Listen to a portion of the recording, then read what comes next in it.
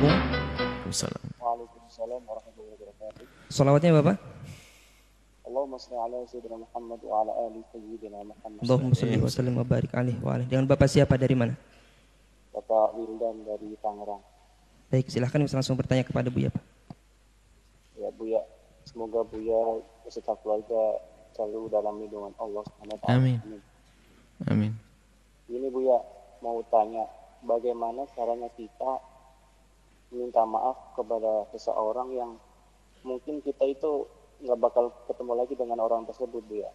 Contohnya eh, suatu ketika kita kan eh, pulang kerja gitu Buya di perjalanan. Kemudian kita itu marah gitu karena sebuah kesalahan di jalan kan kadang ada seperti itu gitu.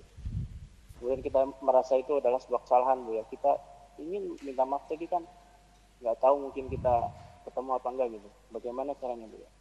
Baik. Baik. Assalamualaikum warahmatullahi wabarakatuh. Assalamualaikum. Masya Allah. Subhanallah. Hendaknya semua dari kita itu mudah merasa bersalah. Agar kita mendapatkan dua faedah. Yang pertama, mudah meminta maaf. Yang kedua, berwaspada hati-hati agar tidak melakukan kesalahan. Sifat baik yang Anda miliki. Anda salah dengan orang yang Anda tidak tahu di mana rimbanya. Siapakah dia? Di jalan subhanallah Anda melakukan sebuah kesalahan. Akhirnya terasa di dalam hati Anda kesalahan ini. Berarti itu iman, seruan iman di hati Anda. Anda ingin minta maaf gimana caranya? Jika permasalahan adalah urusan keuangan, urusan harta, urusan uang, maka Anda keluarkan.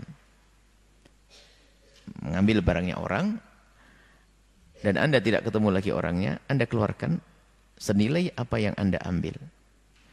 Berikan ke tempat yang baik. Dan niatkan ini sedekah untuk orang tersebut. Keluarkan. Anda mengambil uang misalnya 10 ribu.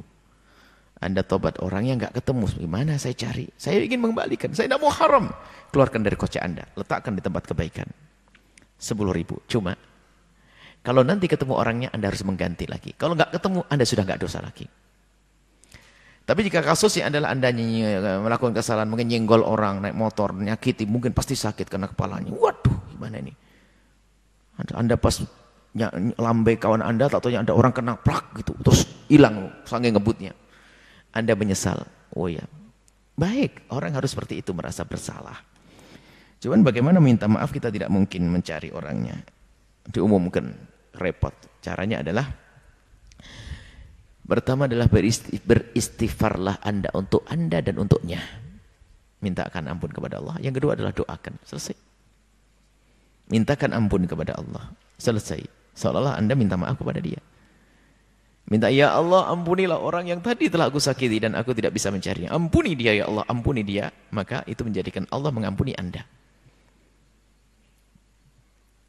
Dan doakan setelah itu. Mohonkan ampun untuknya.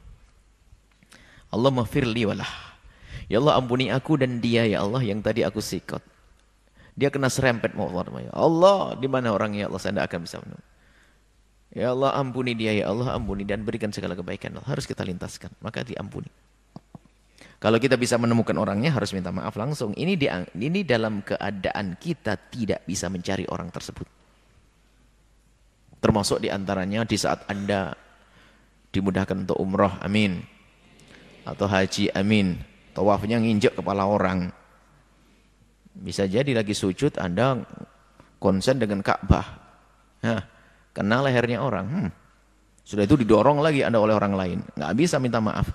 ya Allah ampuni orang itu ya Allah. Seperti itu. Dan doakan. Seperti itu. Wallahu a'lam bishawab.